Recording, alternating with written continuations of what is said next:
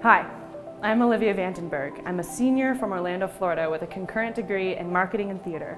Now I know you're really excited to get started at DU, but there are a few things that you need to know. Your plan of study is really important. Your academic advisors want to make sure that you graduate on time by taking the right classes at the right time.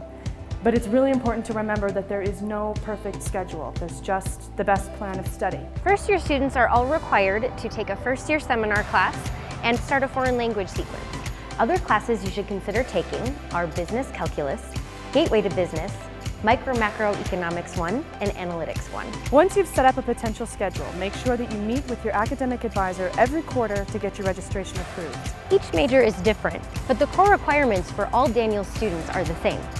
Each student is required to fulfill two checkpoint assessments that ensure you're receiving the right content to be successful in your business major. You can track your progress at any time by looking at Pioneer Web.